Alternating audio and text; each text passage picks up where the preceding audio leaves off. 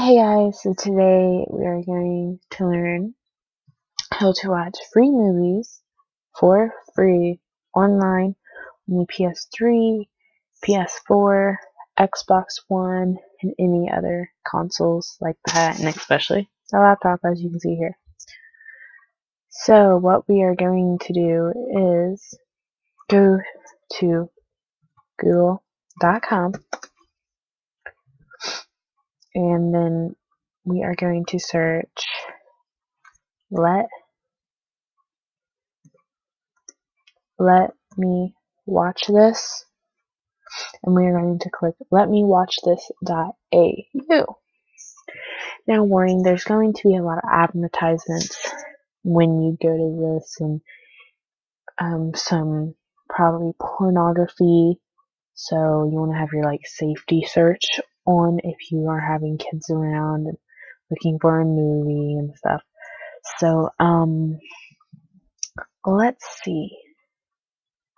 Sometimes if you have slower internet, it takes longer to load, especially on your PS4 and stuff. Like right now, it's a little slow because I have um so many. See an advertisement pop up, but I have so many folders open right now. But anyway, this might not work on Internet Explorer. You might have to get Google Chrome because I already have a movie up on Google Chrome. So when you find a movie to watch, you will see all these files and things like that. What you want to go to is either Movie Share or what is it called? Mm, the file, I think that's what it's called. Let me check. And as you see, I have my movie up and loading. It's the movie Her, comes out in 2014. And movies like they just come out, you can watch them on this. If you're going to a movie theater, you can have a movie date at home, pull your laptop up, and pull out some popcorn. And then, so when you find the file, the, this will pop up, and you just click continue to the movie and you let it load the black to get all the way up to watch the movie, or you can just simply watch like this.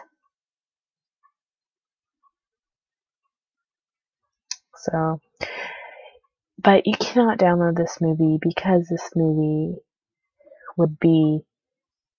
Blah, blah, you cannot download this movie because if you did, that would be copyrighted. Because when you do that, it's you're taking the government's money from like that for free. So do not download this movie, just watch it on the internet because you're allowed to do that, not download. Keep that in mind. But anyway, if you guys have any questions about anything else, let me know and I will get right to you guys. Bye bye.